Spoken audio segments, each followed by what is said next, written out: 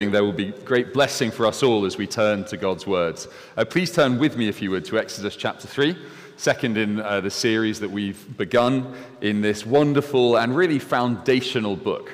Uh, really, for understanding so much about Christianity. It's not only foundational for the Old Testament, but it shapes so much of what we see revealed in the Lord Jesus when we come to the New Testament, and hopefully we'll get a bit of a taste of that this evening as well. We're on page 46.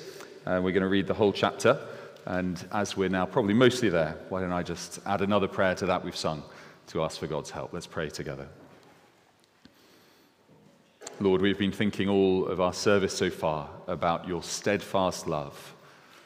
We thank you for the fact that you are the God who reveals yourself to us, Father, Son, and Holy Spirit, the one true God whose nature is always to have mercy.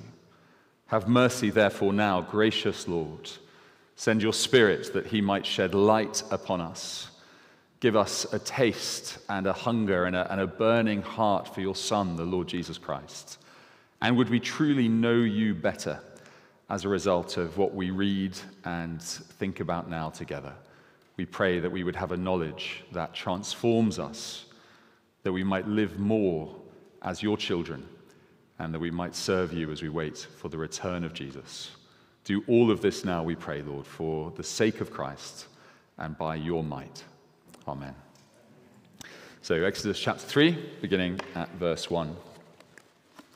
Now, Moses was keeping the flock of his father in law, Jethro, the priest of Midian.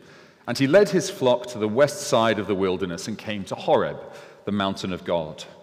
And the angel of the Lord appeared to him in a flame of fire out of the midst of a bush. He looked, and behold, the bush was burning, yet it was not consumed. And Moses said, I will turn aside to see this great sight, why the bush is not burned.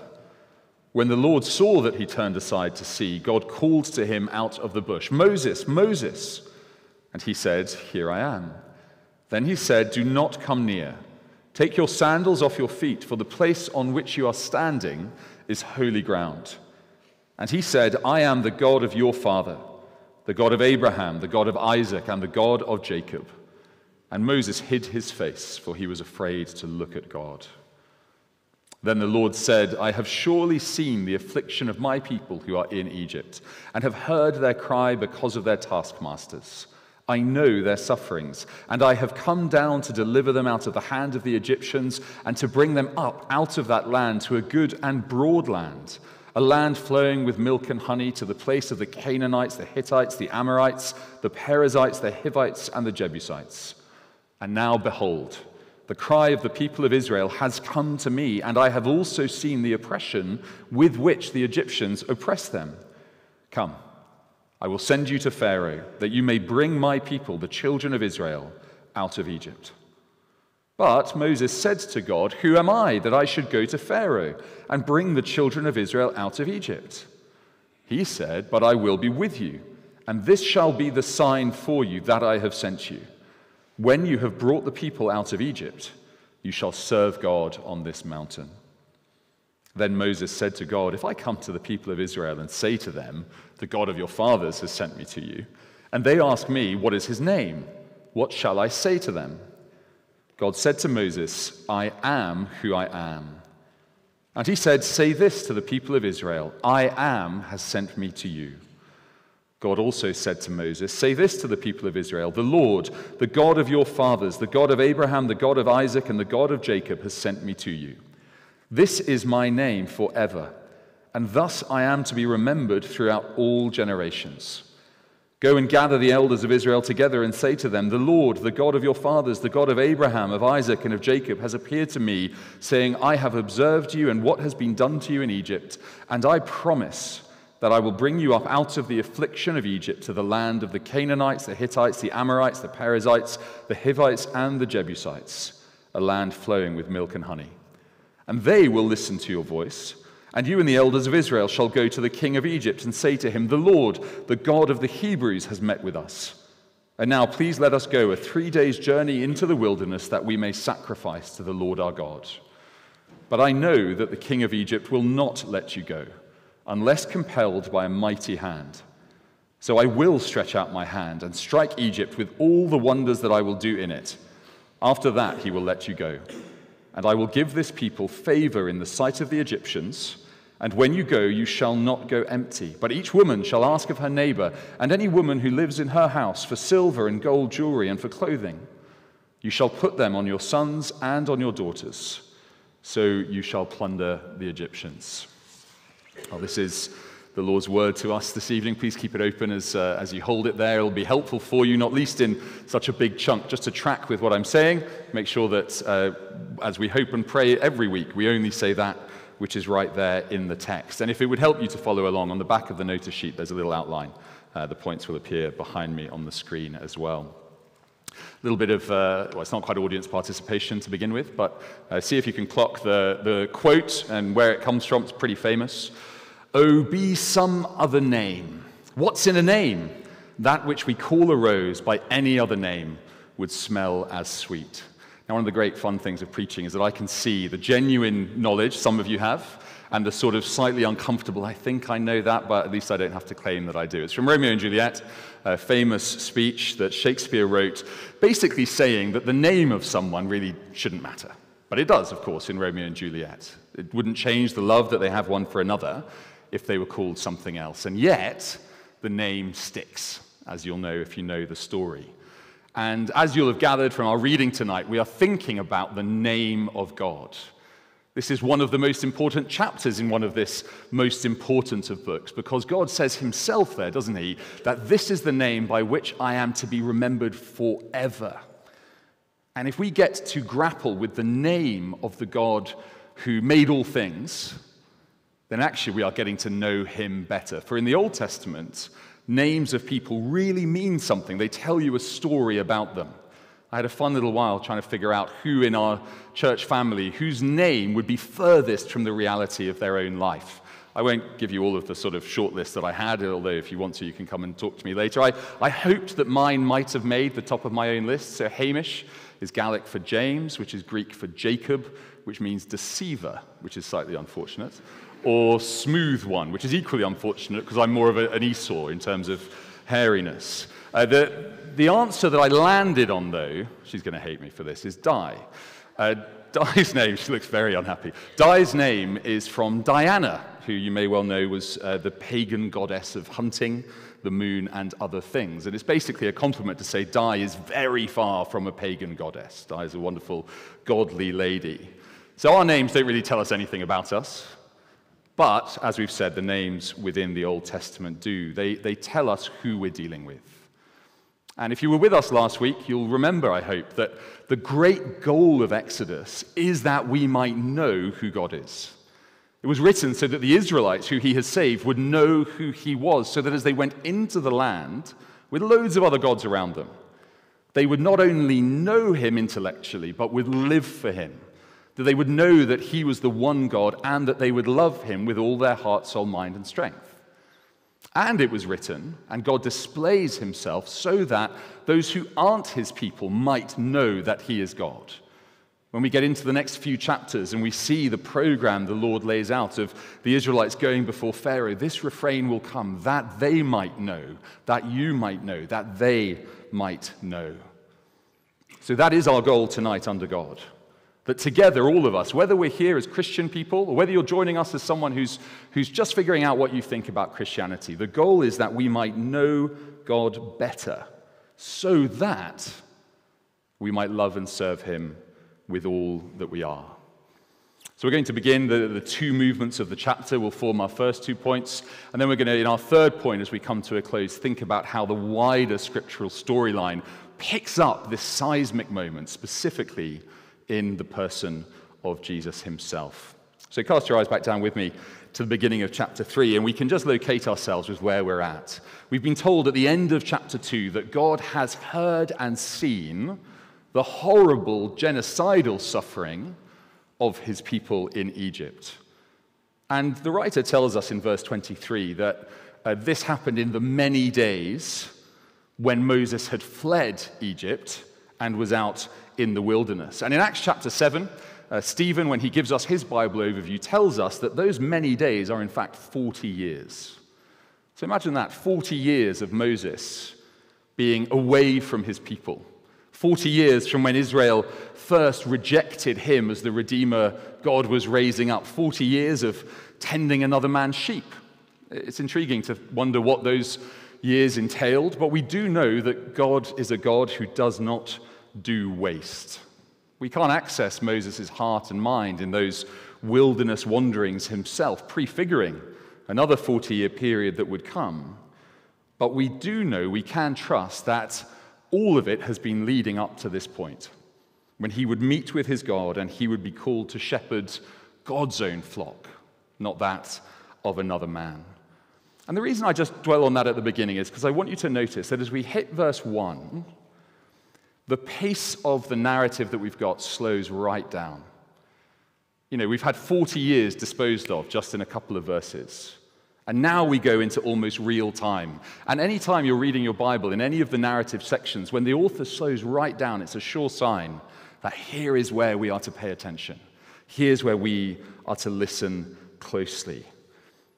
And as we meet Moses, he's come to Horeb, and the angel of the Lord appeared to him. This messenger of God, who throughout the Old Testament is identified so closely with God himself that it's kind of hard to figure out where one ends and the other begins. There's a deliberate ambiguity there, for here is one speaking for God, and yet the very presence of God is being conveyed, is being communicated. And the angel says, God says through the angel, Moses, come here. He calls to him, and Moses approaches. The God who we've been told in Genesis has spoken all things into being is now directly addressing this wilderness shepherd. He's the God of Moses' father, he tells him. He is the God who Moses therefore knows in some fashion. And the writer presses upon us that this is the God who is holy. You'll have noticed maybe the ways in which we are told that. Moses says, verse 3, I'll turn aside to see this great sight, why the bush is not burned. We'll come back to that famous detail. But God begins by saying, Do not come near. Take your sandals off your feet, for the place on which you are standing is holy ground. Now, on one level, this is, this is normal ground. It's perfectly possible that Moses had been there before with his flock. Maybe the grazing was good there, we don't really know. And yet, the presence of God, old fashioned word coming up, hallows that ground.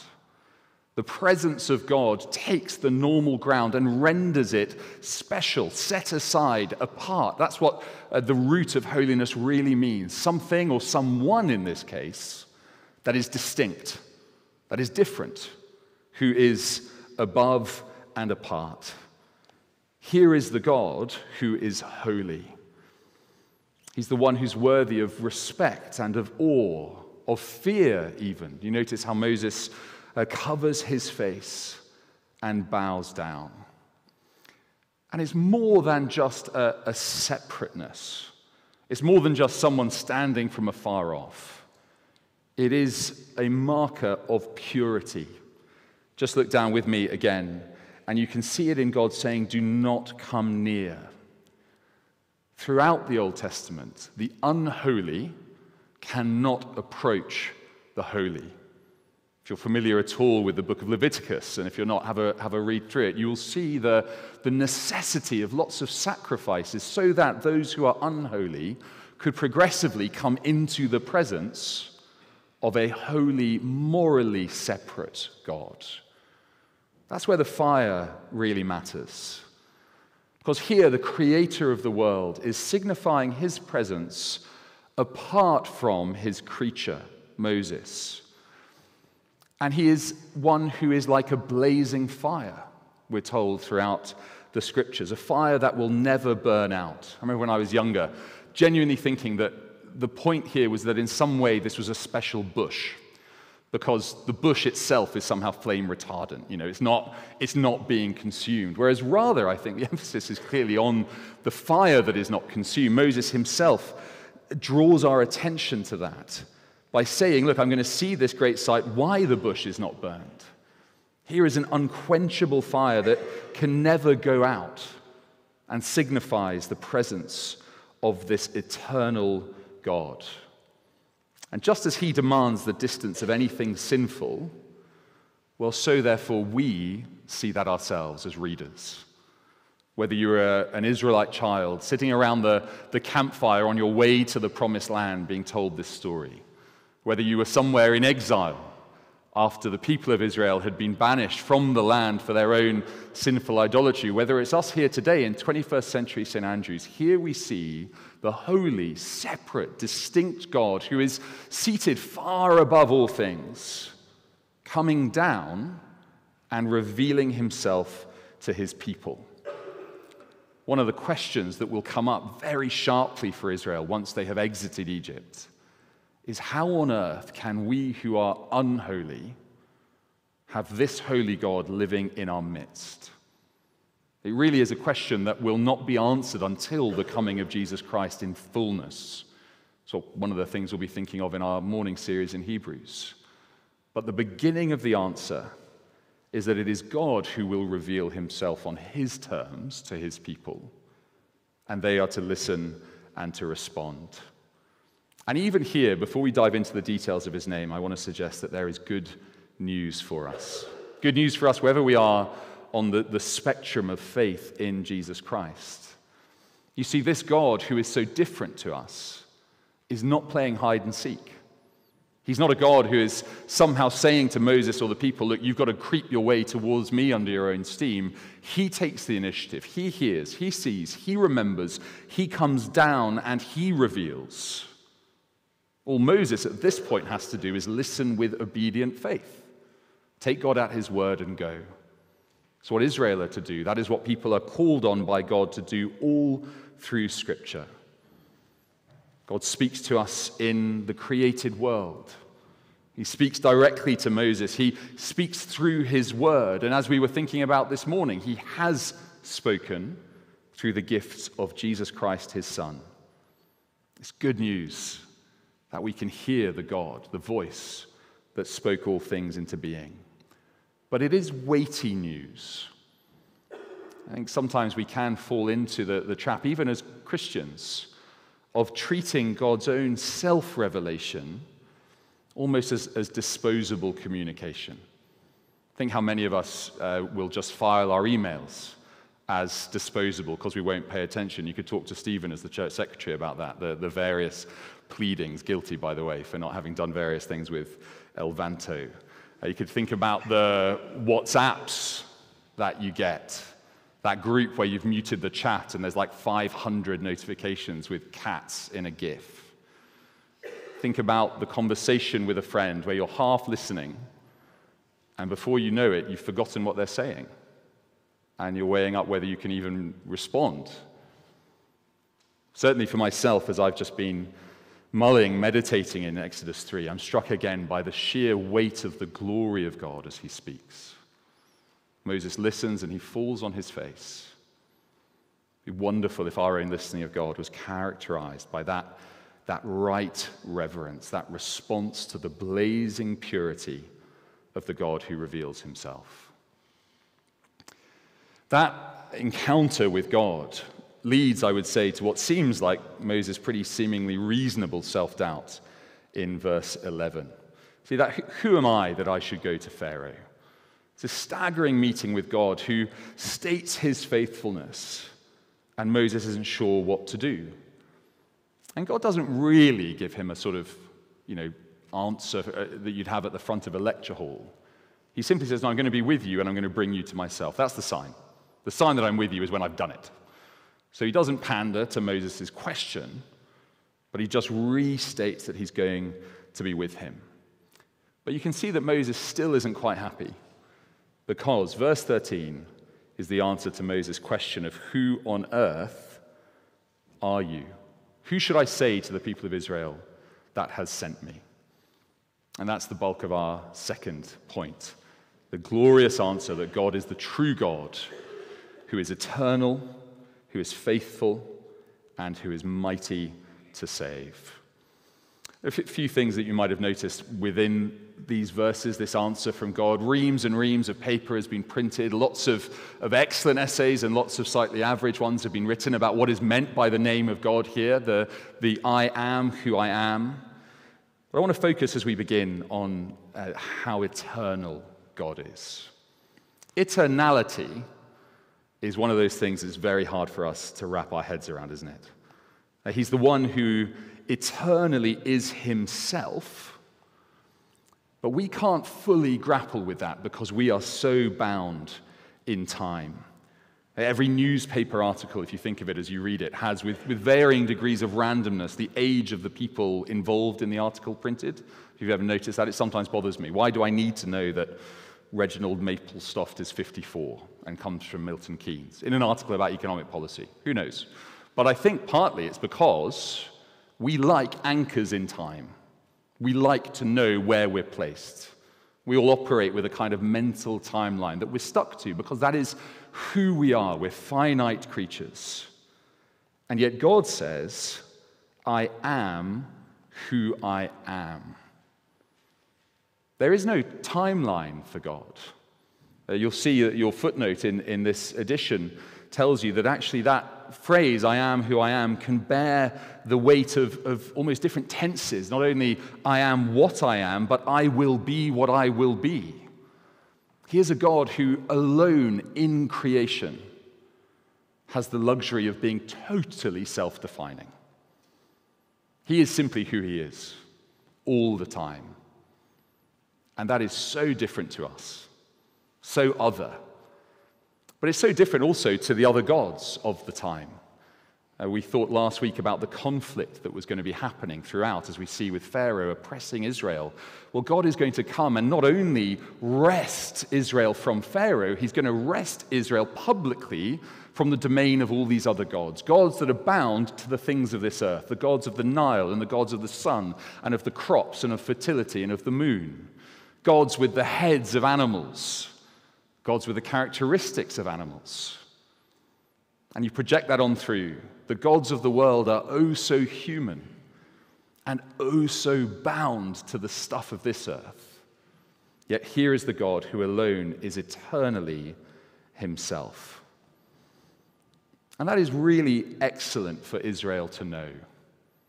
Because to be bound in time is to be buffeted by time.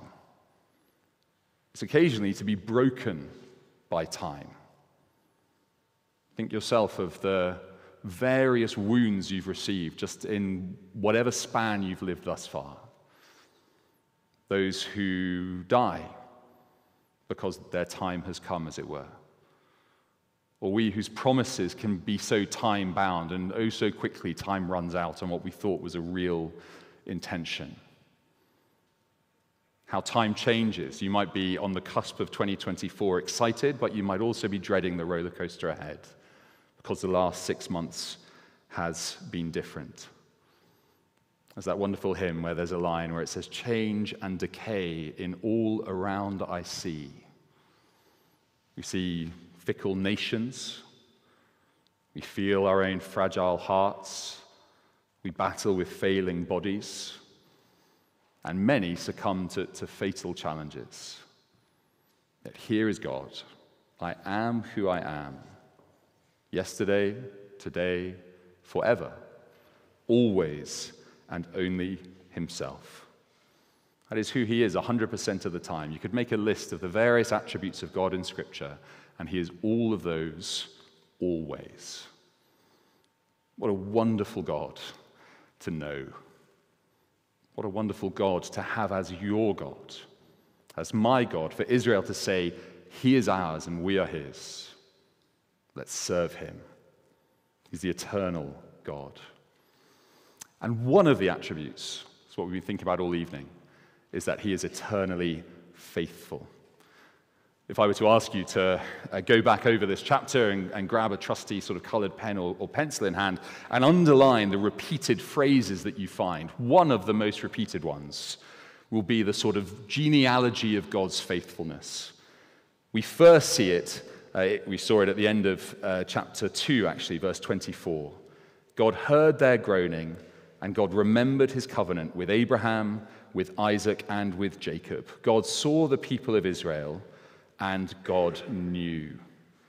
We see it again as God answers Moses' direct question Who are you? Well, I am who I am. Say this, verse 14, to the people of Israel I am has sent me to you. Say this to the people of Israel The Lord, which is just a rendering of I am who I am, the God of your fathers, the God of Abraham, the God of Isaac, and the God of Jacob, has sent me to you. Again, verse 16. This is what you are to say to the elders of Israel. So, you, Moses, this is who I am. You, Moses, say this to the people about who I am. And you, Moses, say this to the leaders of the people about who I am. This is the God who was with and who bound himself in solemn promises, in covenant, to Abraham, to Isaac, and to Jacob. You could look back to the foundation stone of that promise in Genesis 12, verses 1 to 3 in your own time, where God meets Abraham and he calls him and he promises that he is going to make Abraham's people a great nation, that he's going to give them a great place, this promised land, that he is going to bless them because he will be their God and be with them forever, and that that blessing will be so bountiful, so overflowing that it will run out to all of the other nations. That is the, the story told simply by name checking those three men. This is who God is, the one who is faithful. And that is a key thing for Israel to grasp. That this is the God who has made and will keep forever promises. It's so unlike Israel, sadly. The Old Testament will tell that sad story over and over. God is faithful when they are not any of the gods of Egypt, or if you're familiar with Greek or Roman mythology, any of those pagan gods were massively capricious, massively changeable. God is not like them. I think of what stands in for the, the idols of our day. Just tell me, or rather think, whether any of these things you would add the word faithful to trustworthy, eternally stable, and rock solid. Money, faithful, beauty, eternal, success, rock solid, romance, even good things like many of these are, or, or family or relationships. None of them can bear the weight that we might place on them. All of them are susceptible to de- decay, to theft, moth and rust destroy it. Thieves can steal them. Yet God is eternally faithful. Do you not feel tonight, and I have no means of looking into your heart, do you not feel something of the pull, the, the beauty, the weight of that perfect faithfulness? This is who God is. We're to know Him, we're to worship Him. And this eternally faithful God, that eternal faithfulness expresses itself here in one very particular way, because he is the God who is mighty to save. That's framed this whole meeting between God and Moses. God has remembered and seen and heard, and now he acts. He says to Moses exactly that. Verse 7 I have heard their cry, I know their sufferings, and I have come down to deliver them. It's what he expands on in verses 16 to 20. He lays out the program of what's going to happen for the next 10 or so chapters of this book. But all of it is God's saving might. I love even the, the, the motion of it. You see that in verse 8. God has come down to deliver them from the hand of the Egyptians and to bring them up out of that land. Is the God who stoops to save but he does it in might. He's going to stretch out his hand, a mighty hand, verse 19, to destroy those who would set themselves against God and his people, so that he might draw his people to him in love and in faithful salvation. So, this name of God, Yahweh, I am who I am, I want to suggest becomes a shorthand, not only here, but throughout Scripture for all of God's dealing of grace with his people. As they hear it, as they read it, as they sing it, as they're taught it, this is who they are meant to think of. Not just random knowledge, not just, oh, great, we know God's name, but we know God. holy, eternal, faithful, deliverer. He is ours. That's who we're to serve. When we're in the land and we're being drawn away to other gods, that is our God. When we're laboring under rubbish kings, that is our God. Think of us today when we have other competitors for our hearts, for our time, for our money, for our gifts. That is our God. We'll all have been there at some point, and if we haven't, uh, you will be at some point when the, the fire of love in our hearts, unlike the fire of God, is burning low. When it feels like the embers are struggling, flickering. You may have seen a fire as you've tended it, and you're thinking, can I get it back? Well, one really practical thing we can do, and I take it this is what it was designed for in many ways for Israel and for us, is to meditate again on the name of God, the name that carries the story of his character and his salvation, that we might love him. And as we move to a close, it would be remiss of me not to show us how this focuses in on the person of Jesus. Because, friends, in many ways, we are in a more privileged position tonight than Moses was with his sandals off in front of the angel of the Lord. Because we know how this story found its fulfillment. It's our third point the God who has come down. I love that, that detail, as already said, that God says, I have come down. Moses was blessed beyond any mortal man. We're told in chapter 33 of Exodus, verse 11, that God spoke with him face to face as a friend. Moses writing that, I mean, he knew his own privilege. He could hear and meet with God. Yet, if you reflect on that language of coming down, and some of you may know the cry of the prophet Isaiah rend the heavens and come down to deliver us. The scriptures are very clear that that is fulfilled in Jesus Christ, the Son of God who walked that arc of redemption. John's gospel tells us he came down from above in eternal riches with the Father to deliver us, to save us, that we might be brought to God.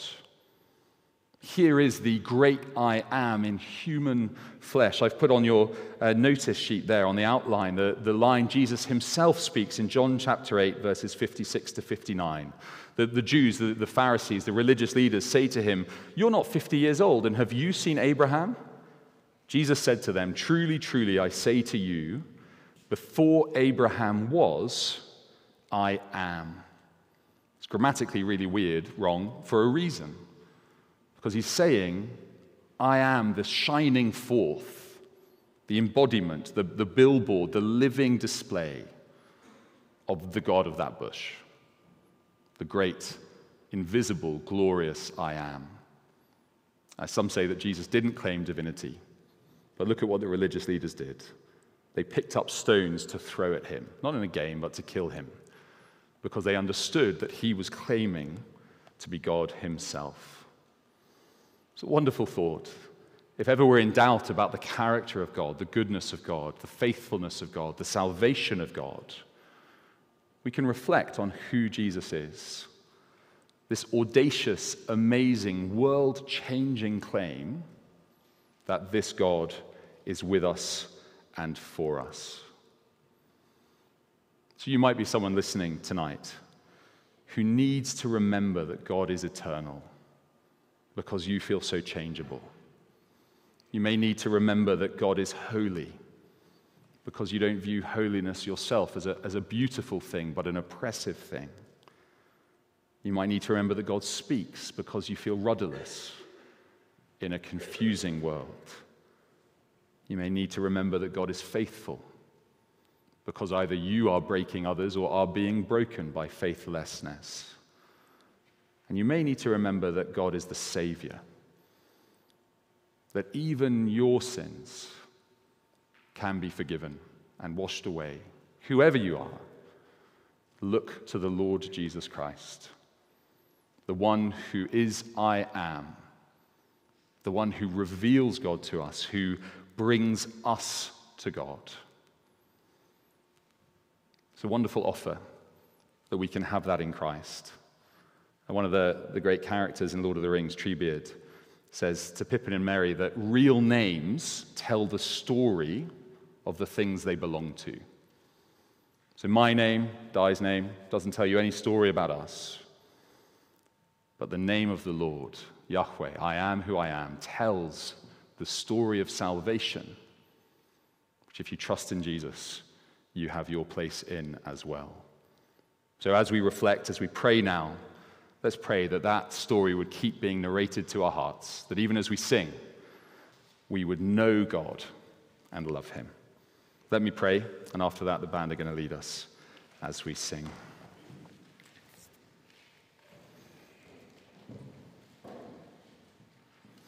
Gracious God, eternal, holy, faithful, and saving, we praise you for your kindness.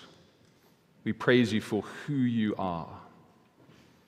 We praise you for your name, your holy name.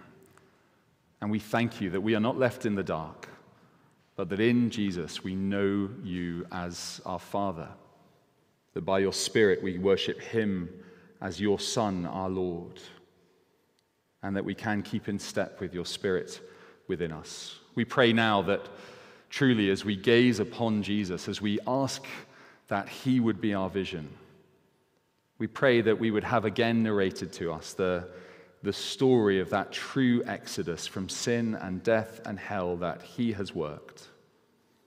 And as we await his return, keep us going in love and in obedience and in faithful worship of you, that we might know you truly, just as you know us.